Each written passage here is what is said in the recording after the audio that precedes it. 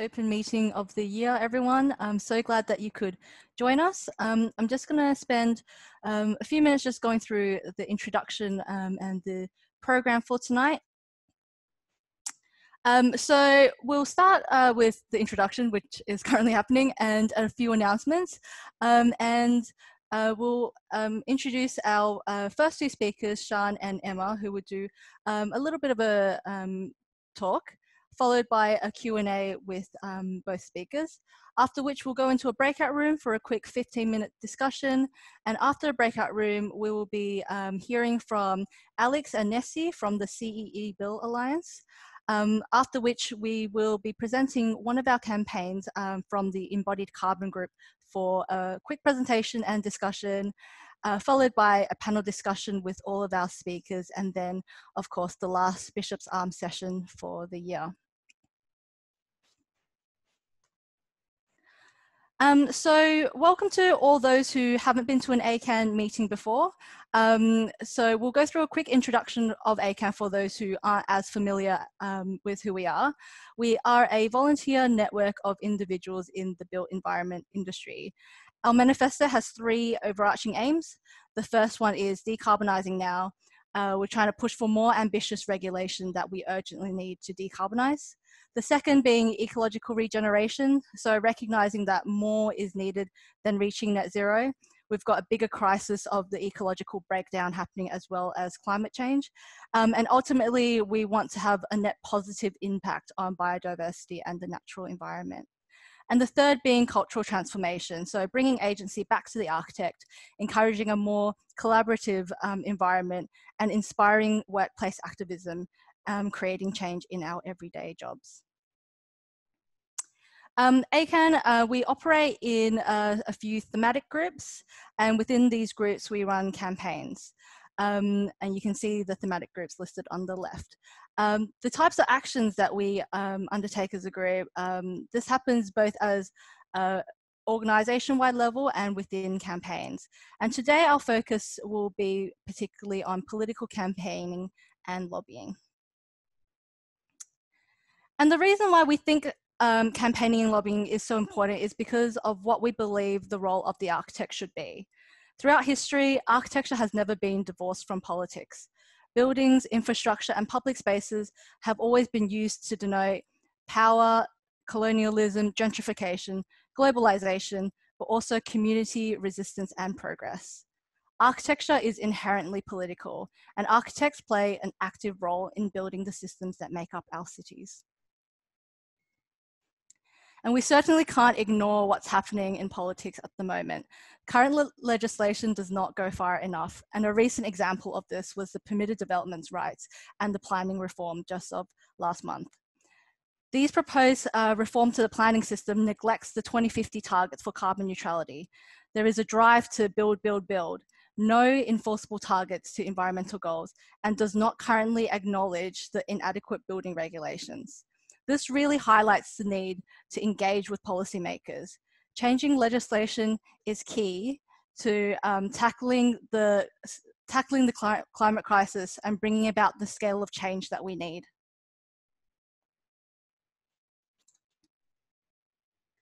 The power of grassroots movement is to bring together individuals in a concerted effort for change. Us as a group, we can represent the industry as a whole. Naomi Klein describes climate change as a collective problem that requires collective thinking. It's up to us to imagine what an alternative future could be. Opportunity to harness this collective energy can influence politics and put climate, the climate emergency at the forefront of the agenda. We also really need to collaborate with those whose vision we share. So far, as a one-year-old organisation, we've attempted to engage with um, government through several of our campaigns, and a large number of our campaigns uh, are dealing with public consultation. So, for example, we've done the Safe Safe Structural Timber, Permitted Development Rights, England Tree Strategy, Future Home Standards, and Planning for the Future. We aim to look for ways to maximise impact on these campaigns. The reality is that we've got nine years left to reach net zero, and it's really crucial to push these agendas higher up the parliamentary agenda. Today, we're really excited to welcome speakers who are campaigners, activists, policymakers, and grassroots leaders.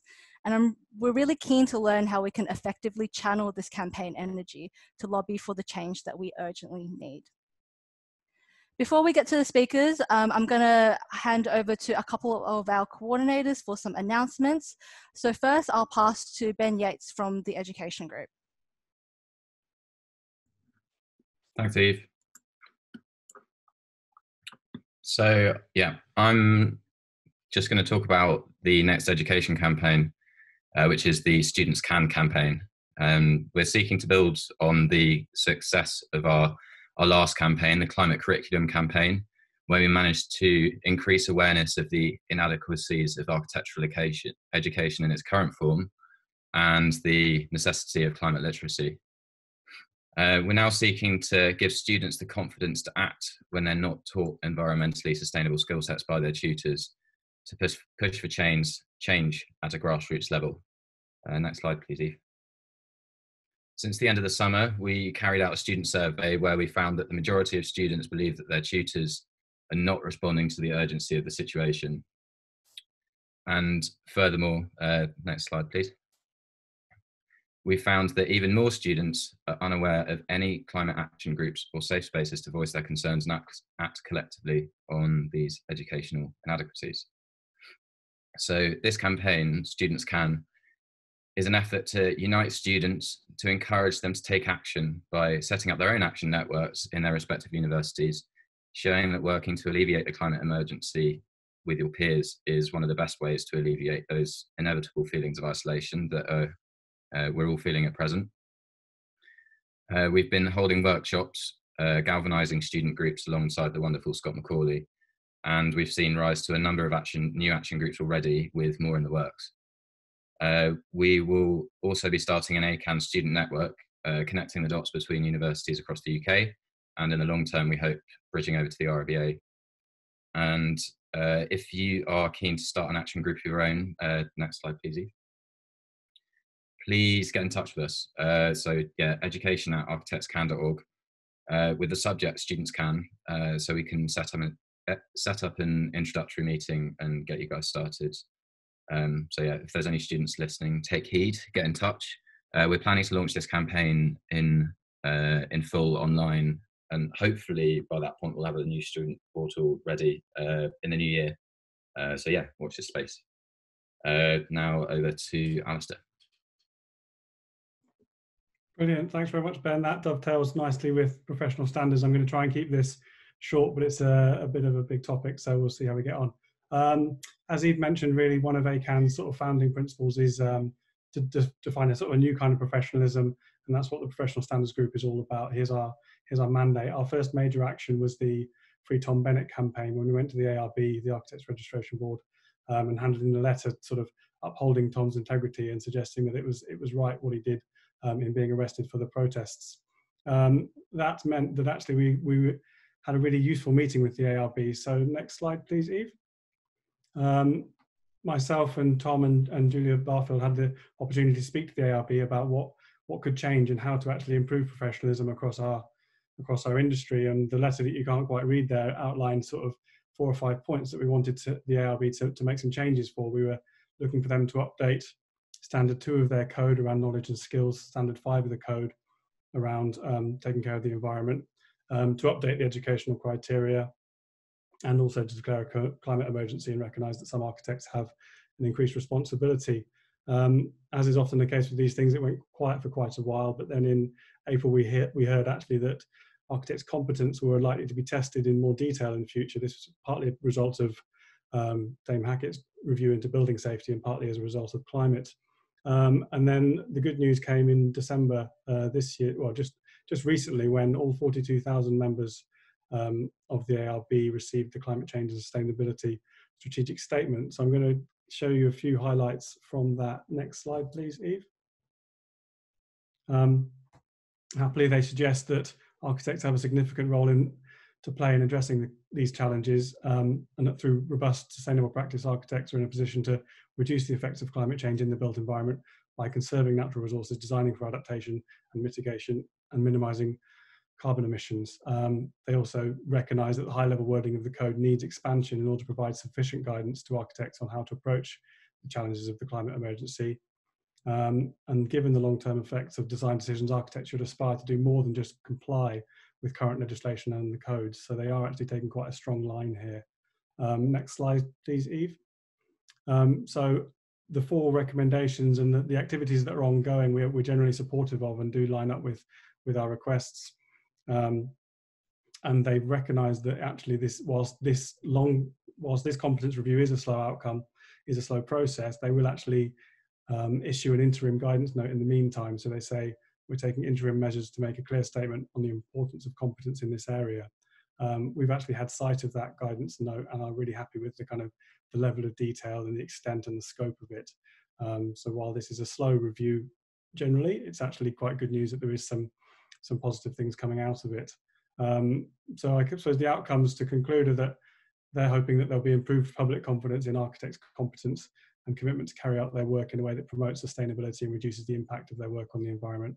Um, and also greater clarity for the profession, students and schools of architecture on the skills, knowledge, experience and behaviours expected of architects in respect of sustainable design. So that's, um, yeah, hopefully you've all seen that if you're an architect and uh, if you haven't, make sure you um, go and mention it to your bosses or anybody else who might now be paying more attention to this because it is it really does build on their code and make it stronger while they update the code. Uh, next slide, please, Eve. So the next consultation that professional standards are hoping to tackle alongside education, who've helped us on the, the previous campaigns, um, will be the amendment to the Architects Act from 97.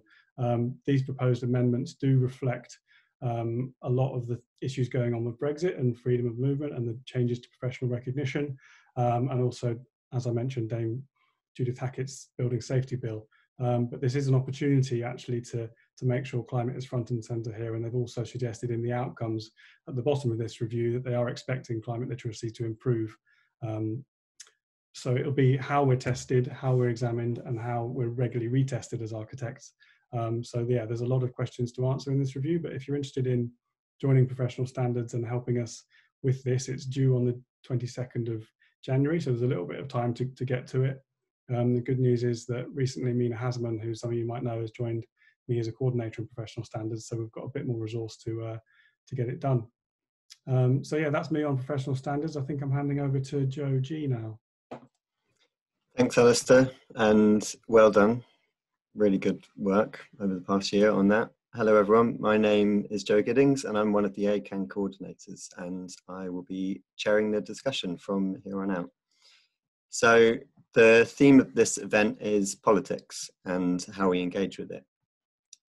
Alas, architects have largely ignored the world of politics with a capital P that creates the rules that really shape, constrain, and guide what kind of buildings we build and how we build them until now, there's been a distinct lack of engagement from architects in the political sphere. But along with climate movements from all walks of life, we at ACAN have recognised that to really change, really affect change, we need to affect politics, policy, regulation, taxes, and that means engaging our politicians and policymakers in conversation and lobbying, whatever that means. So this evening, we are going to hear from voices that are working to shape our cities, not through drawing, but with dialogue, motions, and campaigns. So we'll hear from our first two speakers, then have a quick Q&A. So please add your questions in the chat box as they go along. First up, we've got Sian Berry. Sian is a woman with many hats on. She's the co-leader of the Green Party of England and Wales, along with Jonathan Bartley.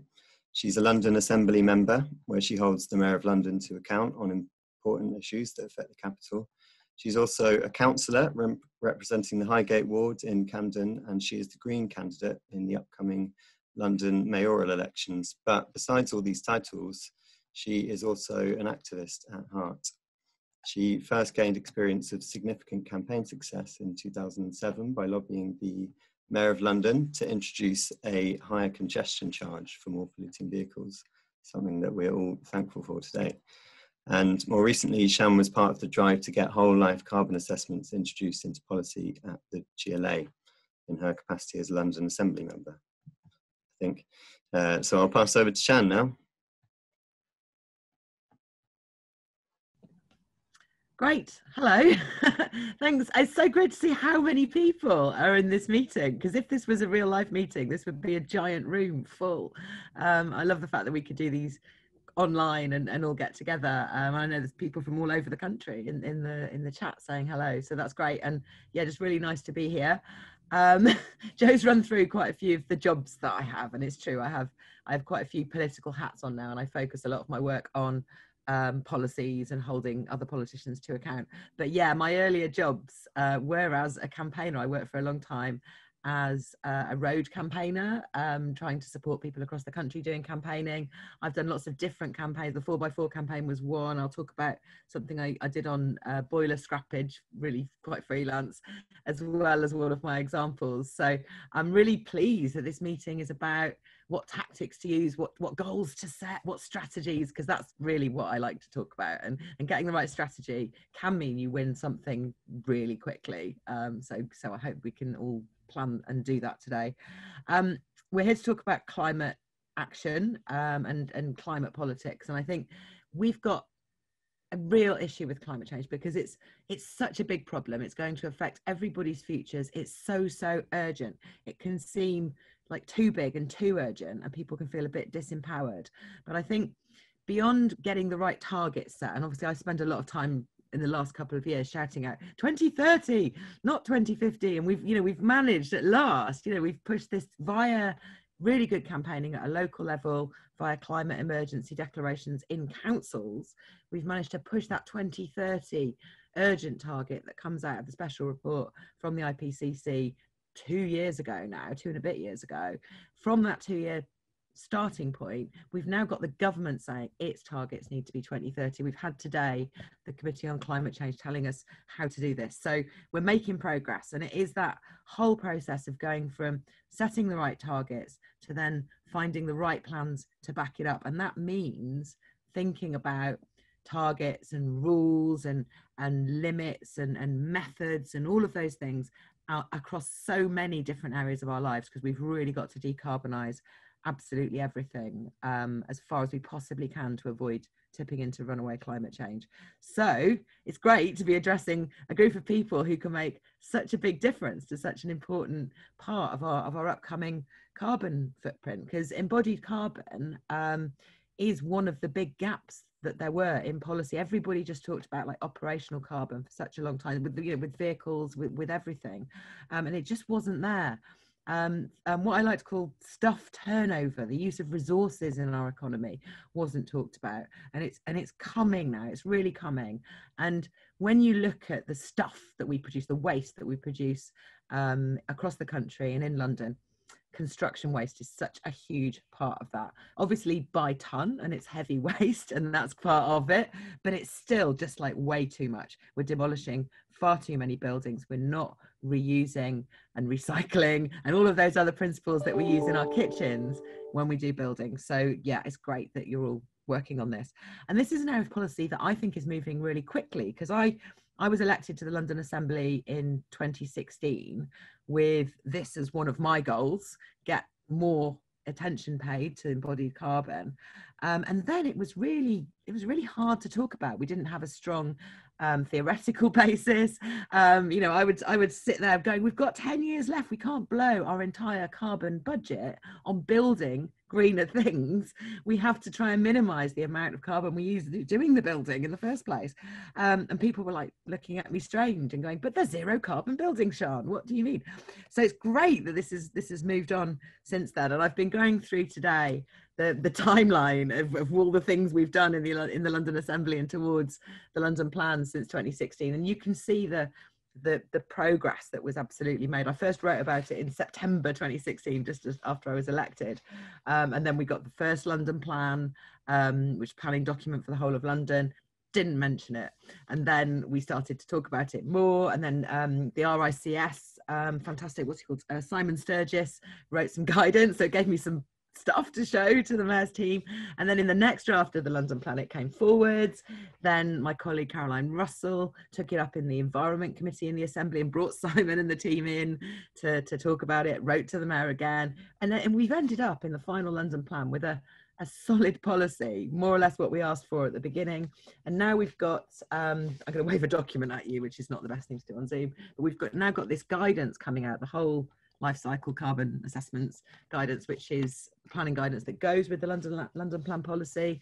And the little gap I was still pointing out at this point was um, essentially that although you're measuring the carbon of what you're doing, you're not comparing it with the other options, the retrofit options that might be lower carbon. And now that's in there. There's actually, it does say in stage one, make sure you look at retrofit and compare it.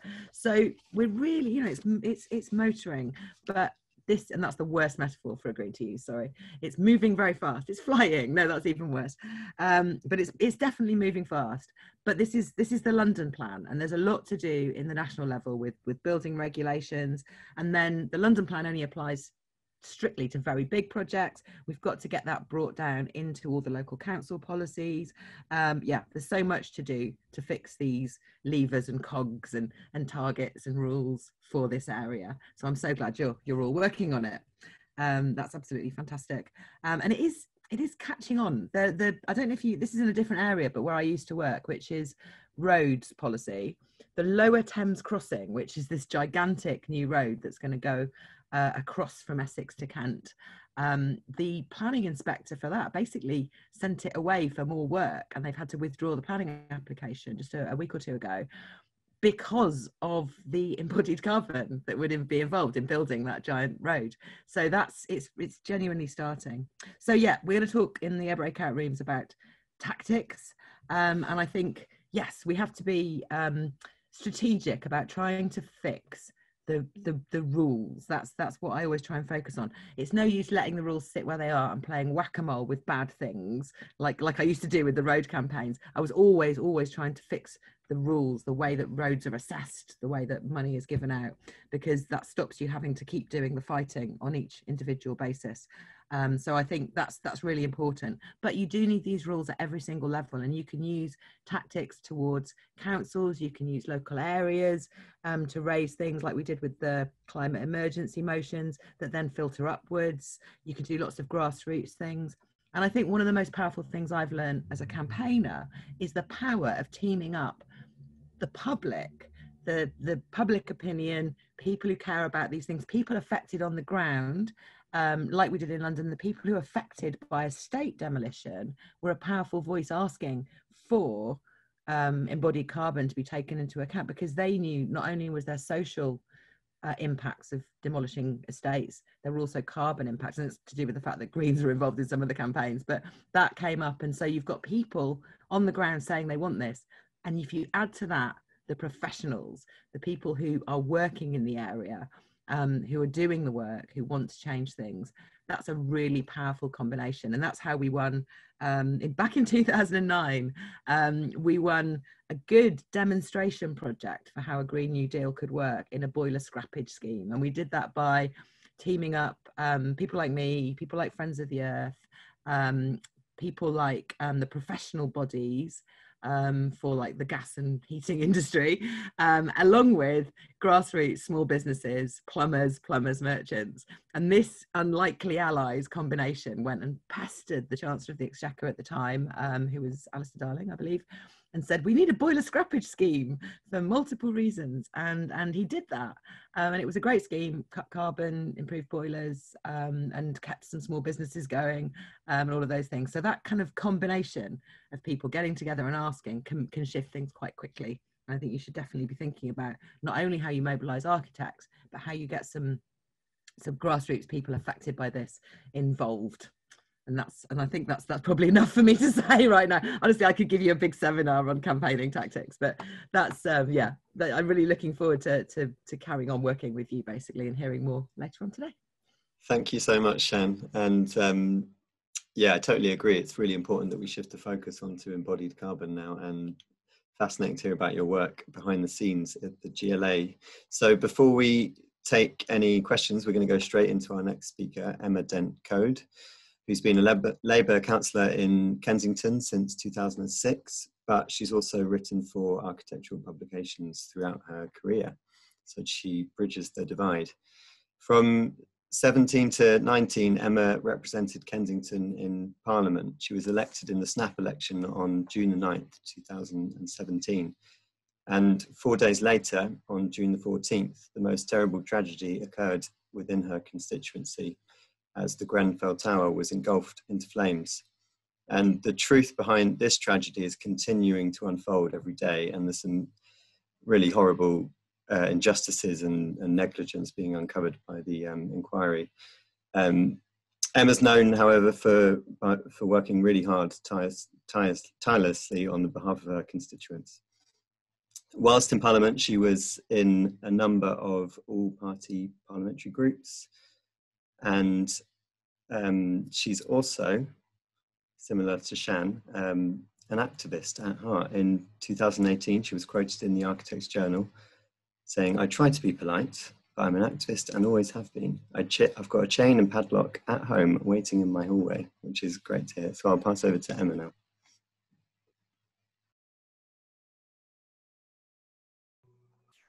Thank you very much. Thanks for that. And it was very good to um, to, to hear Shannon her, all her tips and so on.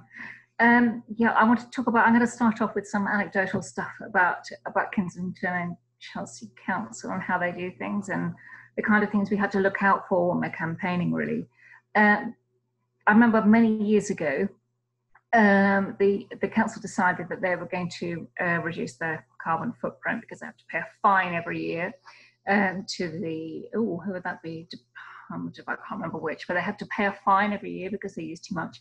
So they decided to put solar panels on the roof, and they did this big thing, a huge, a big publicity campaign. Brilliant! They switched them on. They're going to uh, say, so I kept on. I said, well, where, where have the um, panels come from? And they, you know, they were very bit shady about it, and I kept on asking, and it took me about three months to get a response. So the solar panels, which were going to reduce their carbon footprint, had come from China. Of course they had. Of course they come from China. Absolute rubbish. Um, how can you say that you're reducing your carbon footprint with solar panels from China? Doesn't make sense. Um, so that was one of many things. We're um, in the middle of numerous campaigns at the moment. We've got this one battle that we're in the middle of where um, a 10 year old master plan for developing an estate. It's um, housing association, not a council estate, because they've stopped all that regeneration for now of uh, council estates, thank God. Um, this is a catalyst estate, and they had, they set up this master plan 10 years ago. Um, and by the time they actually build it, it'll probably be another five years' time. So, 15 year old master plan, which involves the felling of 42 mature and very well loved trees. Um, and this is driving everybody mad. I mean, a lot of people don't get the planning side of it. They want to save trees, which is fine. And I would be the first to chain myself to a tree.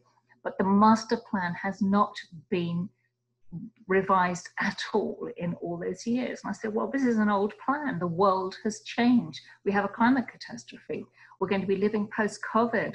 We've got a, a housing uh, disaster, and so on and so forth. How are people um, going to live with, with whatever you're proposing here, which will be a 15 year old um, master plan? Um, and they're just not getting it, and we'll see what happens there. But it's a, it's the trees that that people care about, and actually they need to revisit this. And the planning system, which is ponderously slow, is not up to date with it. Now, I sit on planning, and just one more example I'm going to give you here of um, of what um, Sian was talking about actually, which is the whole life uh, carbon assessments. Um, and I was sitting on the planning committee a couple of weeks back, and there's a building in Kings Road, Chelsea, which um, somebody wanted to knock down and rebuild. And it's zero carbon, it's zero carbon. Um, and uh, well, there were lots of things that weren't zero carbon more than anything else because they're knocking down a building and rebuilding it but the block behind it, they said the residents there have said it was specifically designed to take in as much light and sun as possible to reduce their their own um, energy bills. Um, and when the block was going to be built, they'd actually have to fit more lights and more heating and so on. So this was a kind of double double whammy really um, for carbon. The fact that um, that they were going to be you know well, they were screwed on both sides basically. Um, but there is nothing in planning policy which will deal with it, and we have to look at these things. Um, I'm having a little bit of a battle at the moment about electric cars. Our council is, you know, they have a huge PR department. They spend more on that than anything else. I think every, everybody should have an electric car and plug it into a lamppost somewhere. And, you know, number one, they're very expensive and there's no real second-hand um, market for them yet. Um, you know, and so it's it's really for rich people, and we're subsidising them. Which, and I do think the electric cars are selling now, which depend on lithium. Lithium mining is an awful, awful, toxic um, process, which is despoiling vast uh, virgin forests and landscapes all over the world. Um, you know, I do think we have to hang on a bit and wait. The new generations of batteries and so on coming out. Let's just hang on a bit. I don't want people using polluting cars, but if everybody who can afford it invest in these um, cars based on with uh, lithium batteries, we're, we're despoiling something else while we're making our air a little bit cleaner over here. And it's, um, it's I do think a lot of it is tokenistic, I'm afraid. So um, yeah, we've also got massive battles about cycling. And I honestly think if anybody who lives in London who reads um, the Evening Standard will think that um, the council are anti-cycling, and I, they put in a cycling lane which is dangerous. um, um, and uh, so we said we want a cycle lane. Labour, we want a cycle lane, but it has to be a safe cycle lane. Um, so we're having a bit of battle about that with the Mayor of London as well, who wants his money back because they're going to take it out before it's even been trialled properly. So there's a huge battle going on there. Safe cycling, absolutely essential, um, but it has to be done right. Um, I, I, was watching the uh, Grenfell inquiry yet again, yet again today. When I can bear it, I watch it. Oh my God! Anybody who's been following it in the press or watches it periodically, it's the it's the corruption which is at every level, not just financial, but the corruption of the people who are actually running these businesses, which is horrific. They're just the contempt they have for people who are going to live in these buildings while they're they're fixing the you know the um, the fire tests and so on. Um, today, the barrister said, "Oh, so we're looking at science perverted for financial gain, are we?" And I thought, "Oh my goodness, um, he really he really nailed it." So that was um, that was quite something. But while I'm watching that, I'm thinking, you know, what you know, we've got over three million people living in dangerous properties with dangerous cladding on. What and i know that they often they take it down they don't know what to put up. What are we doing? What are we doing? Who is actually supporting new businesses who are developing new systems of insulation for these for these naked cold buildings cold damp buildings? Um, or ones where they have the, they still have this dangerous cladding and people are, are terrified because people people contact me from all over the country um, um, talking about their, their cases and i just think you know, are we actually investing in that? I don't think we are. Um, and we don't have the workers to do it. We don't have the skills. Uh, are, are, we are we build are we building here? Are we going to set up manufacture here? Um, and the whole issue of retrofit. Do we have a whole industry? Why we should be investing in the whole industry of, of retrofit and the skilled workers who need it. Behind all that, behind all that, there is in Parliament a massive lack of expertise so when I was in Parliament, I was one of the few people who actually understood how buildings are made. Because you know I'm a historian, not an architect, but um, I do know how buildings are made. And I, I met one of the architects who who worked on Grenfell Tower, and people who work with Goldfinger, and I do know about about those generations of buildings and how solid they are. I don't mess with them. But there's a huge lack of expertise. The only two other people I met in Parliament who understood buildings were both former firefighters, they're MPs, former firefighters who get it. Um, so that getting the message through, if we're lobbying, once we're getting all these, these campaigns going, getting the message through is the problem because most people don't understand how it works. And you talk to many of the Tory MPs about buildings and they talk about beauty and, ugh, you know, it has to be neoclassical and, they have, they just don't have a clue how safe buildings should be made. So this is what I'm asking for anybody please, who is going to set up a campaign and lobby, whether it's your council, whether it's assembly members, whether it's MPs or anybody at any other level. Know your information, know it inside out. Get that information, get a really, really good summary and top lines, as we say. You've got like 10 lines, fact, fact, fact, fact, fact, that people can take in. Get a good summary so that when somebody who's insanely busy looks at it, they go, oh God, this is good. And then they maybe read, read more. If you come along with a big block of text, anybody who's insanely busy will think, oh, I'll read that tomorrow. And then they won't. Just bear in mind how busy people are and, and bring that information to them in a very, very easily digestible form. But the facts are hugely powerful. The facts and, and the kind of passion that, that all of you will bring to your campaigns. And that's that's always my my combination is um, statistics plus outrage, but you need the facts as well as the passion behind it. Um, yeah. So um, any kind of actions and so on, people think you know we're gonna we're gonna do action, direct action. I've been involved in countless over the years. If you're going to do that, make sure it's purposeful while you're doing this, while you're whatever it may be, training yourself to something. Make sure you're doing something else as well, which is purposeful to push your policy through so that you have a, a proper route map.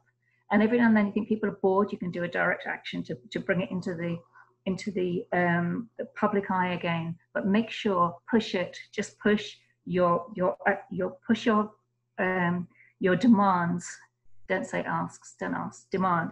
Push your demands while you're continually bringing it into the public eye. Um, and um, find your allies. You will have allies, you'll have Sians, you'll have people like me, you'll find a few allies, you'll find the firefighters or whoever it may be who cares about, about buildings um, and, and work with them, um, whatever party they're from, work with them. Um, but I think I, for me personally, it should always be fact based and bring your facts, as I say, to people in a digestible form and keep on hammering it because people forget. Uh, politicians are ridiculously busy. They have 101 things on their desk every day.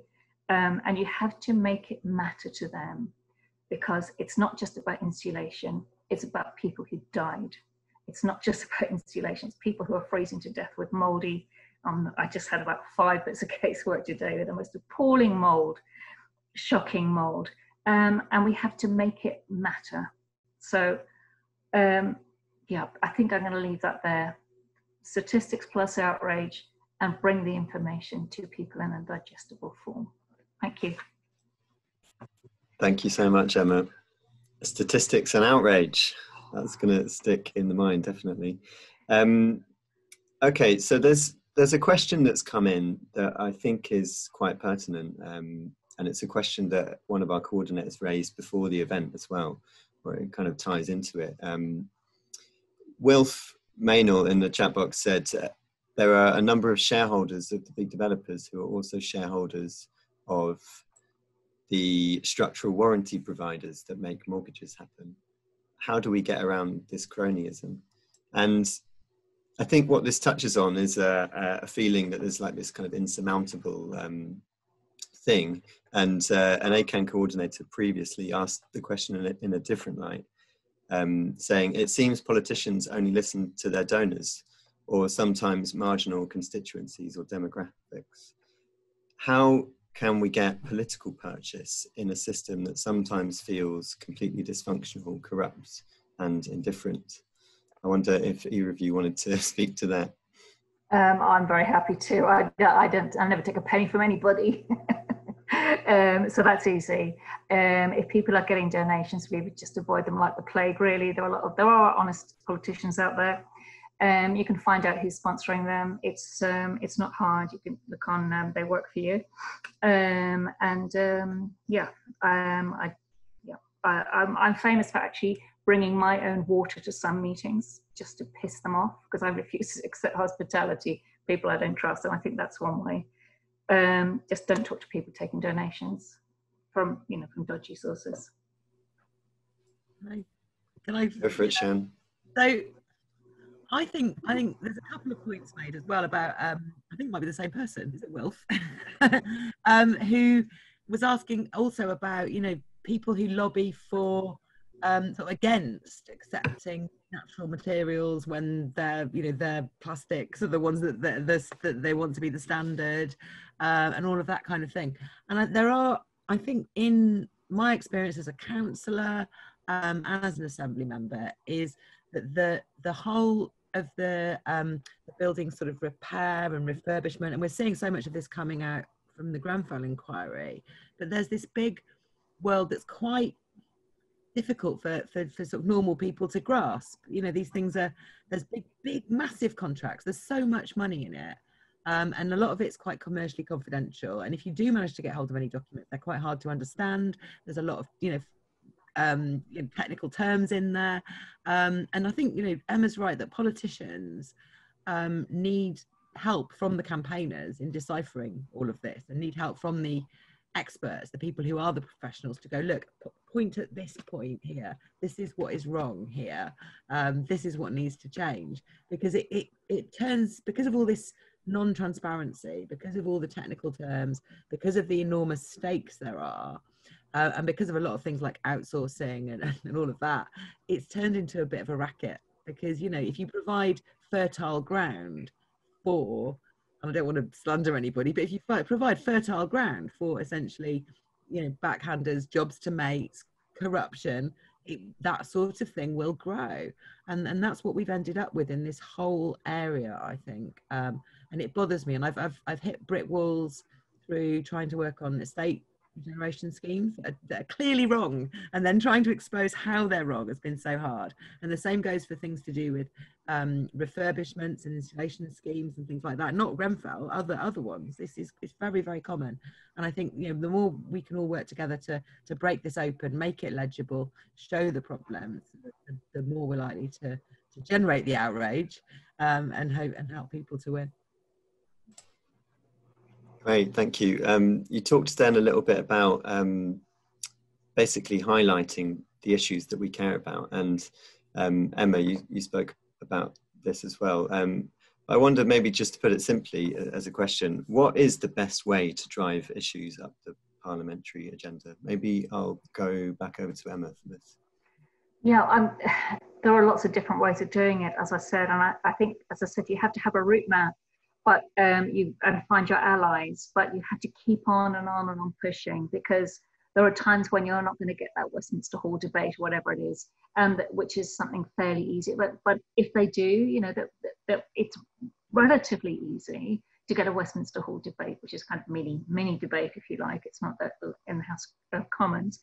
Relatively easy to get that. But if you are lucky enough to get your MP or your ally to speak on a specific issue, then you have to really monopolize it. You have to really make the most of it. You have to make sure that everybody knows that you have done that and it's huge.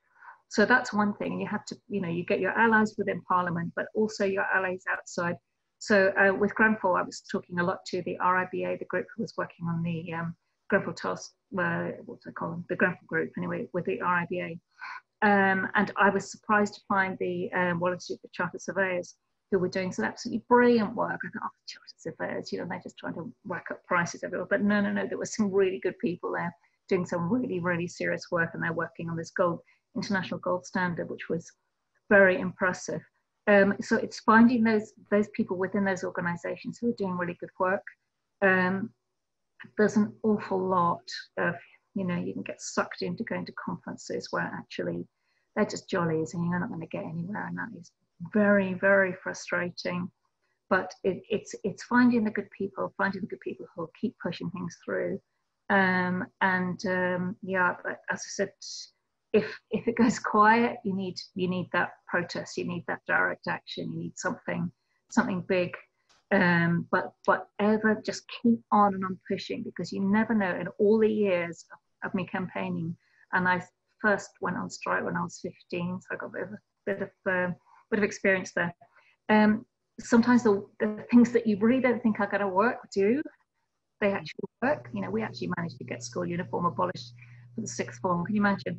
Um, in a convent, amazing. Uh, and you know, the, the things you just don't know what is going to work. So you had to keep trying and all work together, but have different people doing different things. You've got your climate, your direct action group, and the person who's really good at talking to MPs or whoever it may be and keep on and kind of snowball it. Just just don't ever give up because you might win on something that you really don't expect You really don't expect. We saved a college and a library and a youth club recently, and I honestly didn't think we were going to win any of them, but we did. We did through amazing local campaigners. So that's um, yeah, that's just don't give up. Okay, great, thank you. Um, so we've got plenty more questions and we will come back to some more of them later on towards the end. Um, so there'll be a chance for Sian and Emma to respond to them, some of them a bit later on. But to try and get a bit uh, on track again, um, we're going to go to breakout rooms now. So we're going to have a 10 minute discussion in breakout rooms and you'll be randomly placed into breakout rooms of four or five people to say hello to each other and talk about a question that will be up on screen in a minute. Um, so make sure to introduce yourselves and remember to raise your hand if you want to make a point and make sure everyone in your group gets a chance to speak. Um, after 10 minutes, you'll be automatically returned to the main room. Uh, on screen now, you can see a couple of questions, uh, a couple of um, hand signals um, that we like to use in our meetings. And I think on the next slide is the question for the breakout room. So, touching on some of the themes we've talked about, should campaign aims be realistic or idealistic in their ambition? And should targets be systemic or incremental? So, um, I think we're ready to go into breakout rooms.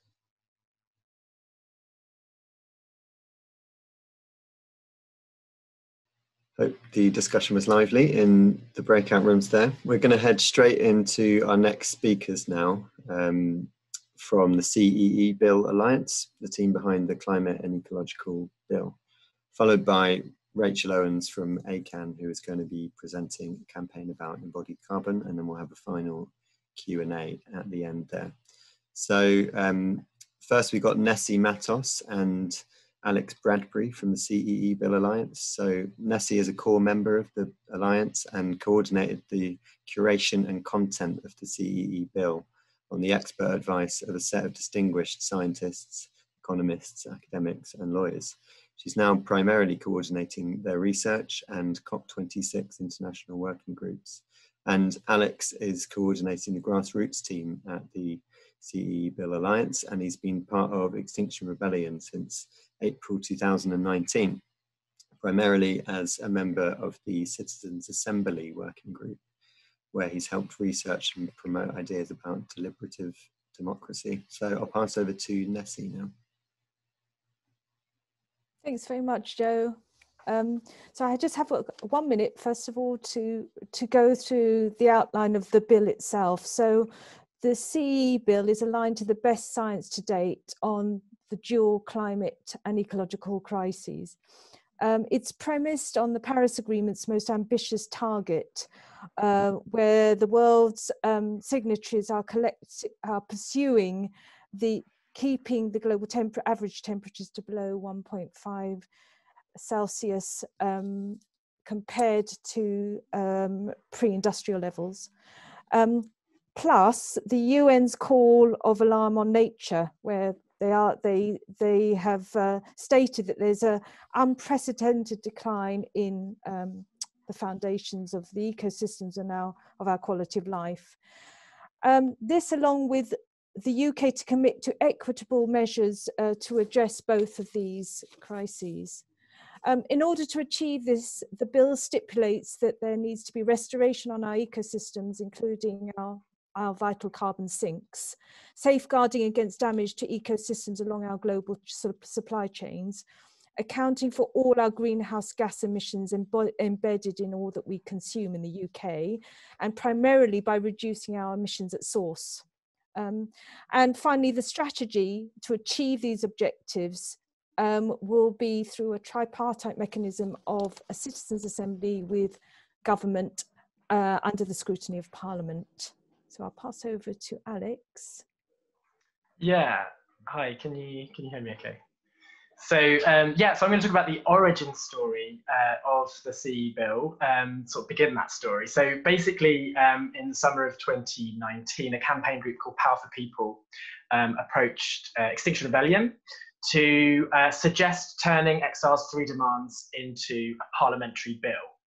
Um, so to recap, those three demands are to declare, sort of uh, ACAN's three demands uh, looked looked interesting to see see some similarities. Um, so it's to declare a climate and ecological emergency, to halt biodiversity loss and get net zero emissions uh, to so get to net zero emissions by 2025, and then the Citizens Assembly uh, sort of the, the roadmap for how to do that. Um, so a small group of us got together and we basically did that. We put it into the form of a parliamentary bill.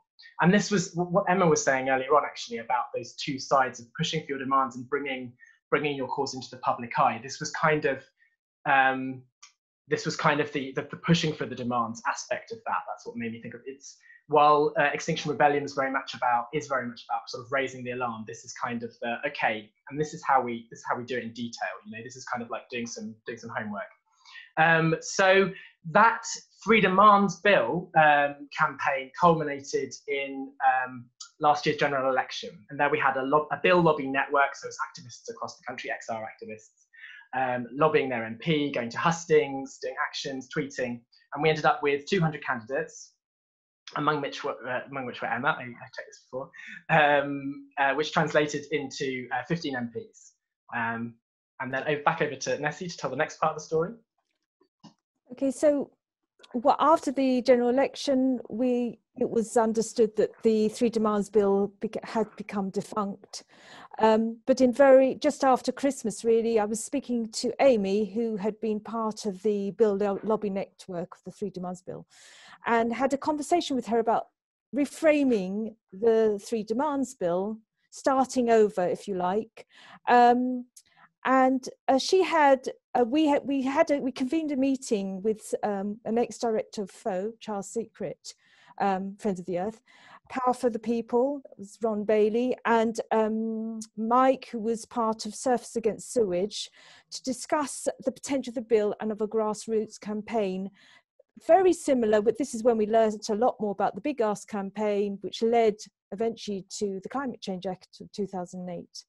Um, this then uh, after before that before during before the elections i had done a series of interviews with experts and i had made some contacts and um, we were able to start consulting with experts um, one of the one of the most distinguished i suppose would be professor tim jackson who um, works for CUSP and had the zero carbon sooner paper, which was very is very seminal and very influential to our bill.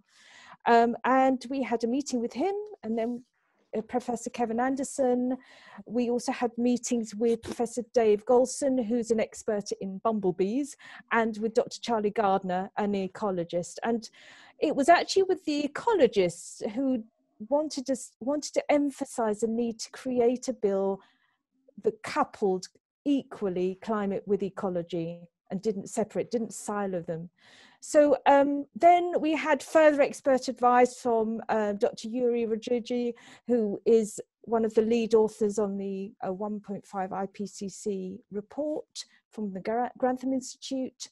Um, lawyers came on board, Caroline Egan, and then we had also very early support from John Elkington from Volans, who um, wrote about um, a sustainable business, I believe, in the 80s.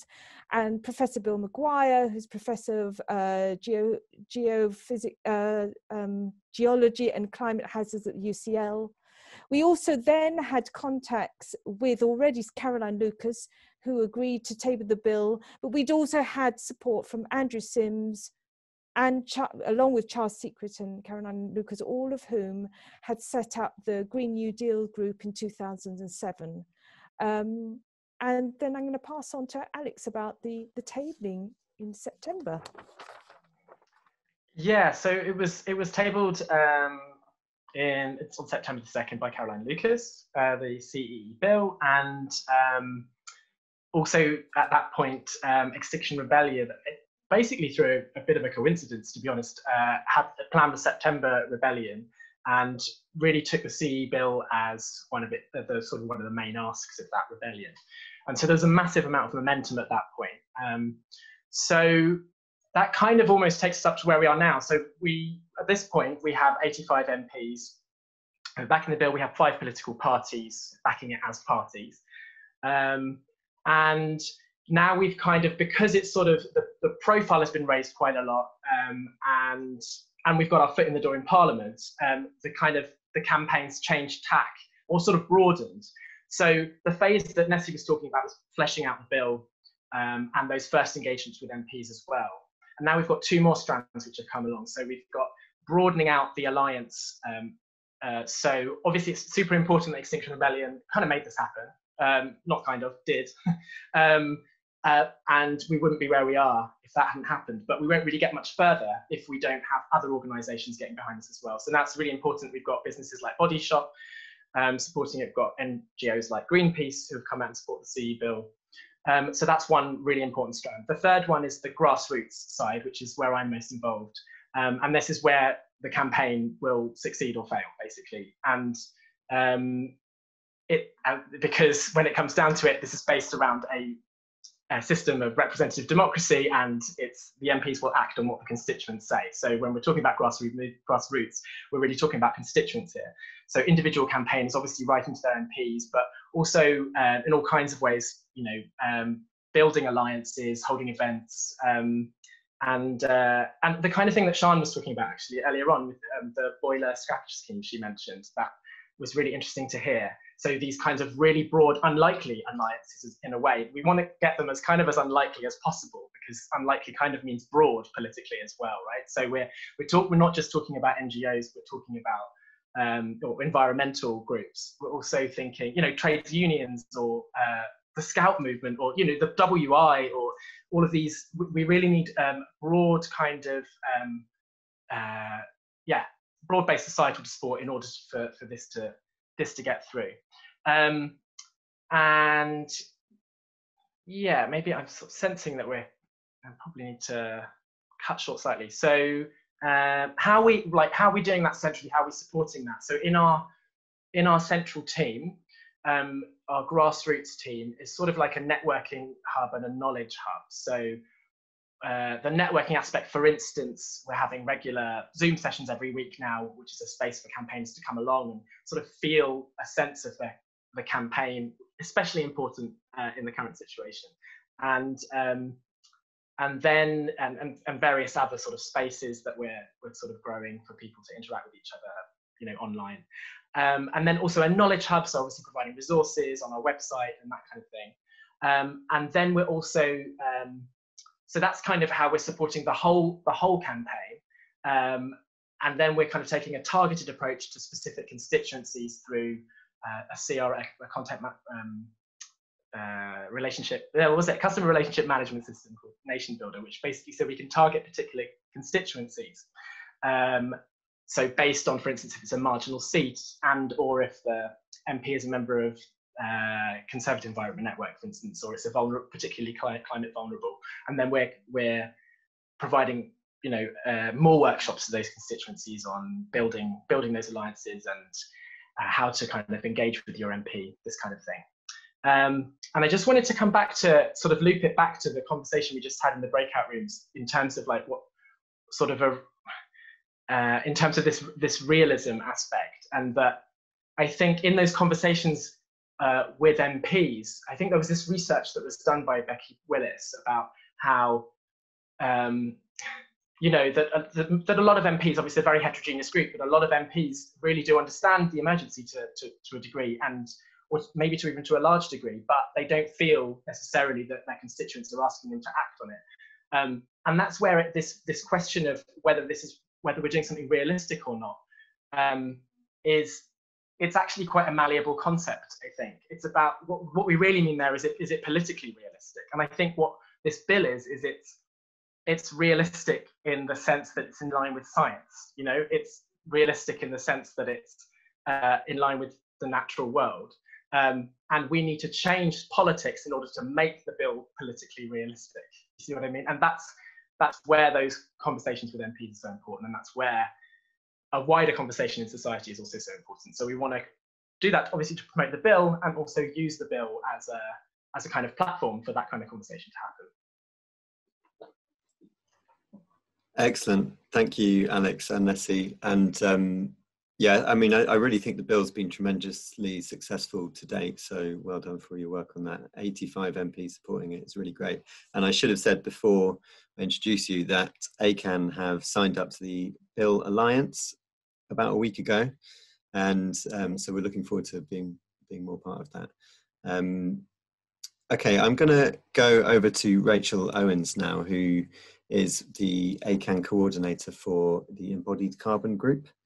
And um, yeah, I mean, what to say about Rachel? She joined ACAN during lockdown and has just become a really integral part of the organization, coordinating that group and now working on this embodied carbon regulations campaign. So, what Rachel's going to do is give a little presentation of it, and then we're going to go back to all of our speakers tonight and um, go back into a Q&A uh, with this campaign as a kind of starting point. So I'll pass over to Rachel now.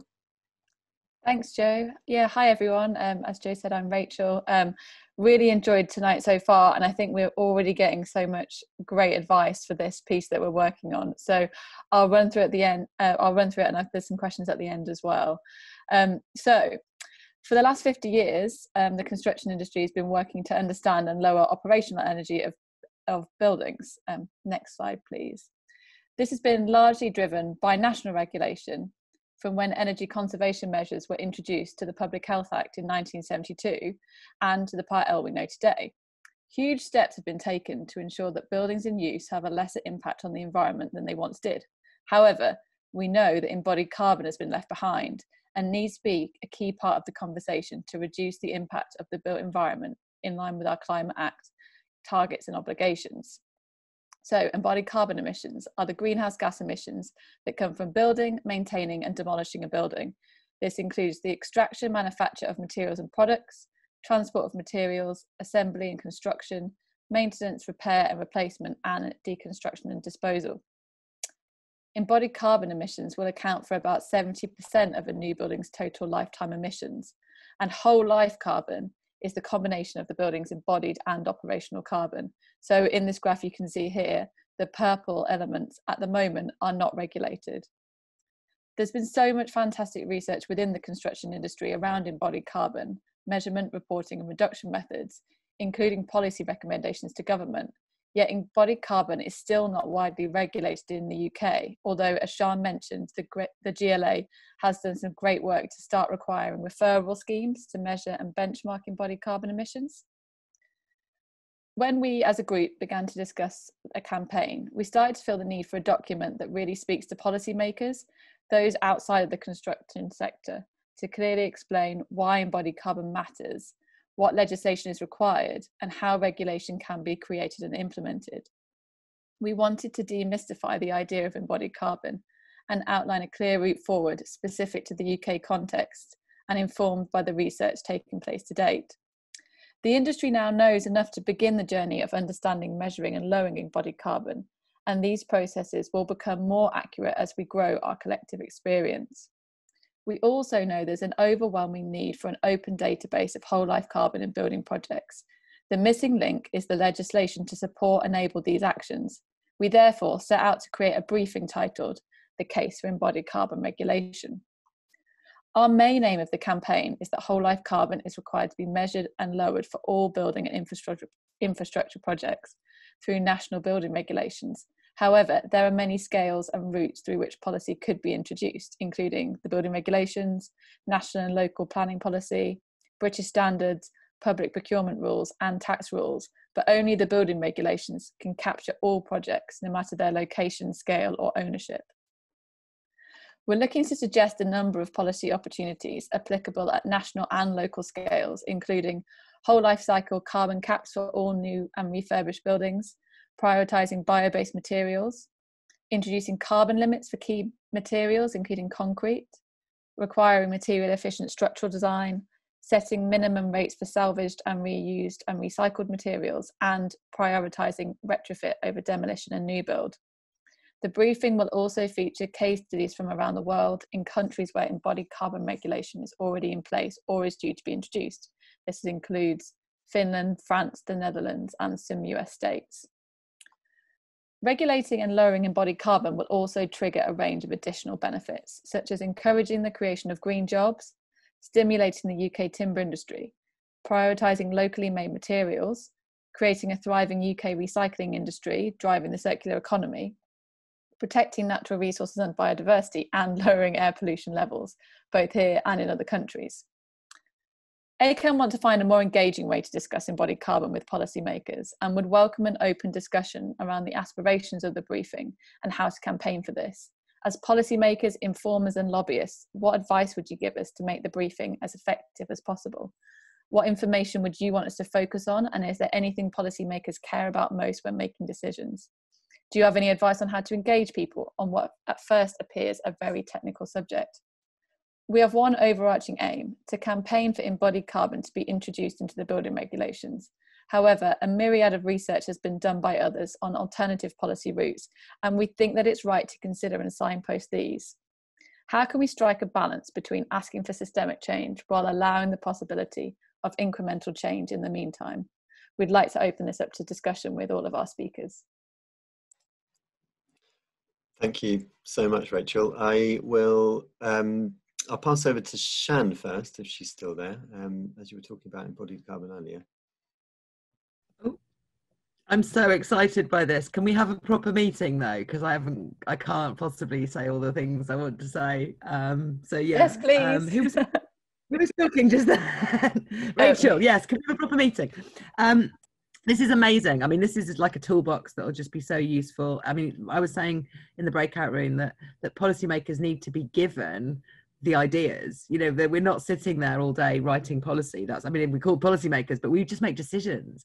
And when decisions are made we need to be able to to, to choose things that are, that are presented to us by people we trust. And so you know the, you're the right people at the right time to produce this. Absolutely brilliant. Um, there are a couple of gaps. Um, so you've identified regulation and planning policy.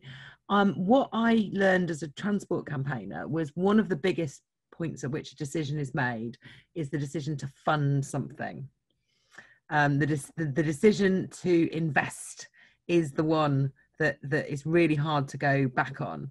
Um, as a road, I'm, I'm, using a road metaphor all the way through this, but basically a road scheme gets the green light when it gets funded, and then the planning policy, the planning process is is just delay, delay, delay until eventually they force it through um, and and as a road campaigner, well, you know once it's got funding, you're really in trouble, and you can you can all you can do is delay it until possibly somebody else takes over the reins of power and pulls the funding out again.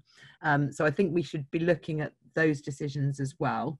The, the the way we got in London, we got a ballot policy for people who are facing de- demolition of their estates, so they they have to be balloted. And that we've got applied to the funding decisions by the mayor. We haven't managed to get into planning policy because sort of government planning policy won't allow it. The other the other aspect that comes out of transport is um, appraisal and comparing options because that's actually a requirement of um, the Treasury Green Book. Sorry, this is why we need to have a meeting, basically.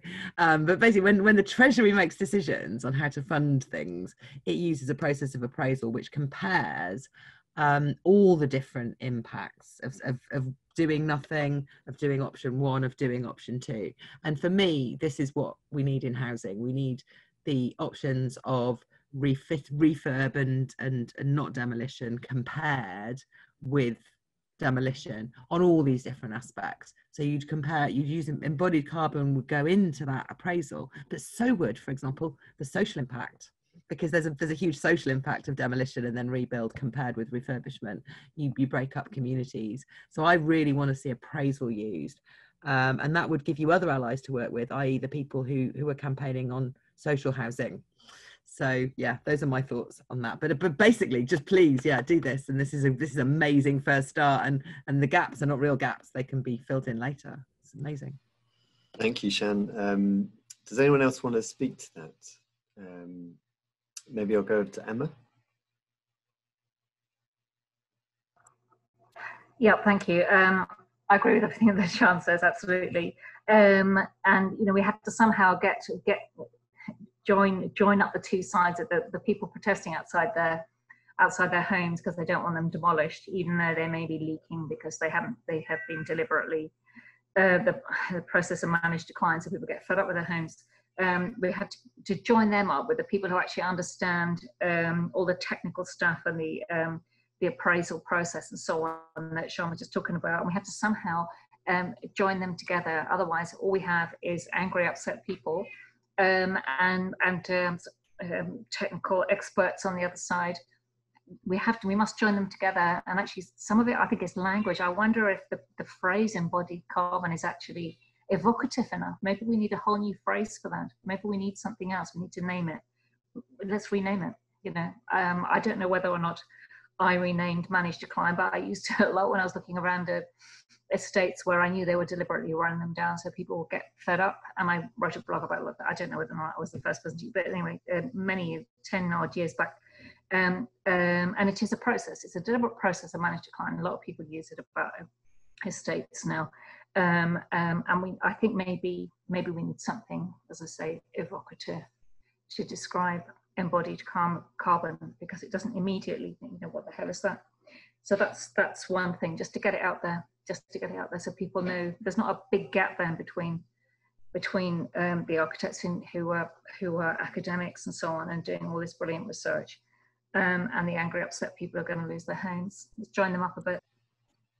Absolutely. Um, could I go over to either Nessie or Alex and just ask? Um, from your experience of working for this organization that's taken this idea from uh, a kind of well from an idea in the grassroots into something that's being discussed by and supported by a number of MPs. Um, do you have any advice for what Rachel just presented, or like I don't know, what would you say would the next steps to a fledgling campaign be? Do you know, I think civil engagement. I was brought up in a, a council estate actually, and it was an amazing community feeling. I was in the 70s, so things have changed a lot since then. Um, but it was there was a real sense of community and politically now we've moved to this point where we have local citizens assemblies which are an amazing sort of uh, hub where people across the you know societal the spectrum even if it's in a local or regional area will meet with professionals will meet with parliamentarians will be able to meet with you know the, the and, and with be able to actually share the local concerns. So i think that's a great opportunity for structured learning and and and, and also empathy. There's a sense of exchange of ideas and a sense of what it feels like to be say living in a concrete jungle for example or for example um, there's another example that's not to do with citizens assembly but transition town. I don't know if you, you know about these, but it's about the example of setting up um, just a, te- a temporary vision of what your your area could be like with more a little bit more green space with more kind of um, sort of a um, eco-friendly environment and i think that just captures captures the imagination because i think psychologically sometimes it's a it's much more important to get the um, an, an emotive sense rather than a very rational sense. I think the rational brain is is quite sort of sort of cold and objective. I think that's uh, maybe Wayne.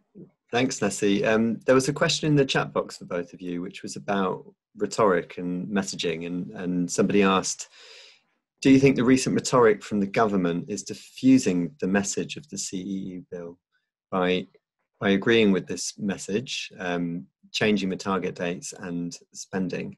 Um, so I thought I'd, it would be worth asking you, how do you maintain message? And maybe Alex could speak to this. Uh, I can try. Yeah, I don't like. I don't think that they're. It sounds like they were agreeing with the CEE bill because I want to check that if that's the case. Um, but you mean that they're they're diffusing it by kind of sort of green greenwashing. Is that is that the that's what's coming behind it? But um, in terms of messaging, I mean, we've just it's it's kind of pretty clear. The bill is really it's quite simple, you know, in terms of the the structure that Nessie presented earlier. So you know, talking about um, aligning with the international agreements that we've agreed to, to you know, and talking about what I was talking about earlier, that this is that this is in line with the science do, and we need to, you know, uh, make make this a reality. Um, so yeah, and then I think also another thing I'm not sure if Nessie went into this earlier is, is the is is that this is really making it clear that the bill is, is very much a, a framework um, rather than that we want to get into the detail of exactly all of the uh, ways in which we achieve achieve the, the overall objectives of the bill. So to, get to, uh, to get to net zero, to um, halt the extinction of species and, and these things. So uh, that, I guess that's another part of the part of the message as well is, is the citizens assembly aspect that a couple of people were asking about in the chat as well. Yeah, I think that's a good point. Um, there was another question about the Committee for Climate Change's report. This was a question way back earlier on. Um, this, this huge report landed from them today uh, about our roadmap to, to net zero. Um, it contained a lot of information about different industries and different sectors. There was, there was a question about embodied carbon specifically from Julia Barfield. She said she had a brief look at the report and couldn't see anything about embodied carbon am I missing something? So I'll go to Sian. Yeah, no, it's it's it is there. It's all in the um, it's all in sectors, the CCC um, trajectories and all of that, um, and you'll find aspects of it within the manufacturing and constructing construction sector report of the of the CCC. But it's really, you know, it isn't it isn't foregrounded. That's the, that's part of the point. Um, mainly, they tackle they don't talk about reducing the amount of resources that we um, go through as much as decarbonising the production of roughly the same amount of resources if that makes sense. That's very much the emphasis that we we see from from all the advisors to government.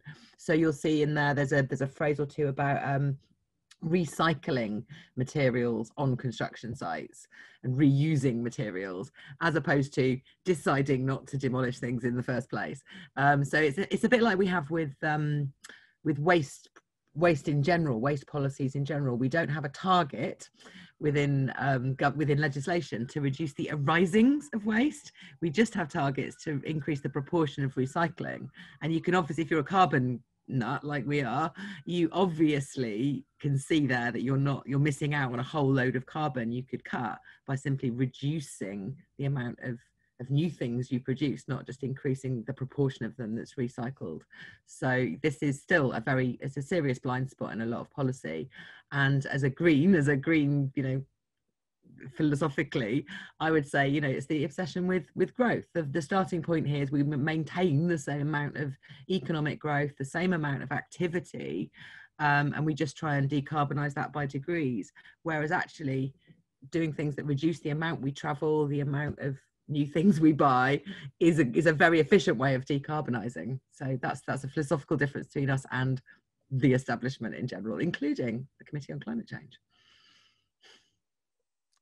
Um, I'll just say that um, interesting. We have a meeting. Um, part of our team have a meeting with the Conservative Environment Network, and they're really interested in the donut economy um, and donut economics, sorry, and they're going to be meeting hopefully with Kate Raworth. So I think there are some interested individuals definitely across the political spectrum. And uh, I think coming down to human values, they're very universal actually, ultimately. No matter what party you belong to, there are definitely universal truths that we want for our children. And I think that that's the part of humanity I can't lose hope, you know. So I think donut economics is great because it sneaks in reducing it sneaks in uh, reducing growth without really saying so. It's very clever. it's a very good model, mental model of how to deal with it. And that's actually really good to hear that the Conservative Environment Network is taking it up because I had a little look at their website and they said they were all for free market solutions to the climate crisis, which just made me cringe. But um, I think that about human values is probably a good note to wrap up on. I think that's a very good point, Nessie. There are human values that we all share, and that's maybe what we should be talking about. And we've gone a little bit over time, so I'm just going to wrap up. Um, so if you could bring up the yeah, so um, the ACAN Circular Economy Group has got a number of events coming up next year. Uh, these are lunchtime events, and it will be a nine part series addressing challenges and opportunities in applying circular economy principles at the end of each RIBA stage, starting from stage zero through to stage seven. So you can see the first three up on screen here. So that's on the 14th of January with Duncan Baker Brown, 28th of January with Useful Projects, and 11th of February with Vandkunsten. So our next open meeting doesn't have a set date yet, but I think it will be on the 13th of January, but keep an eye out for, for that. Um, what a great way to end the year. Thank you again to our fantastic speakers this evening, Sian Berry, Emma Dent-Coad, Nessie Matos, Alex Bradbury, and Rachel Owens. And if you'd like to become part of ACAN, then we'd really love for you to join. You can join a working group uh, or get involved in a campaign. And you can do this by signing up to our mailing list on our website or joining our WhatsApp groups, which is where most of our conversation happens. We'll send some links out after this. And finally, after our meetings, we like to go to the pub, and obviously that's not possible in reality right now. So we go to the virtual pub, which we call the Bishop's Arms, and in the mail out from Eventbrite, you would have got a link to the Bishop's Arms, which is another Zoom call. And um, if you click on that, you come into the pub. It's bring your own, I'm afraid. We don't have anything on tap, but there'll be plenty of discussion to compensate. And it's nice to see everyone's faces. So thanks again.